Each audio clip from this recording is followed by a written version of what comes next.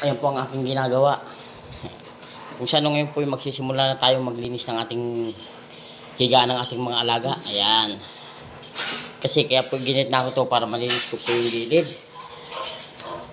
Ah, naglilinis po ako tuwing maga. Umi-start po ako ng mga 8 or 9. Kasi pagkatapos po nilang kumain nun, hindi ko po kagad sila nililinis kasi po popo pa po sila. Inaabangan ko po yung popo at pagka natapos po ako maglinis ng magtanggal ng popo nila pinapahindag ko muna po yung kanilang kinain para kung basain ko man po yung sahig nila hindi po sila magkasakit.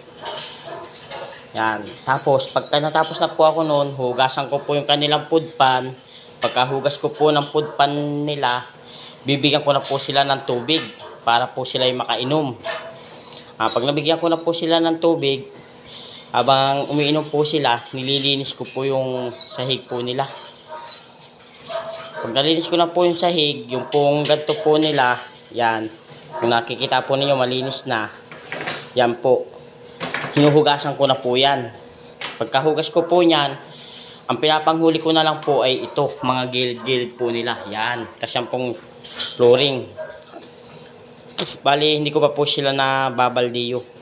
Babaldiyuhin ko pa lang po sila pag ano, mamaya maya. Pagka natapos na po ako dito, ito po, kaya po nilagay ko na po sa gitna para makadaan din po ako doon sa gilid. Malinis ko rin po yung gilid po na yan. yan. Saka ko po sila tutubigin ng tutubigin at sasabayan ko po ng isang sabon na powder.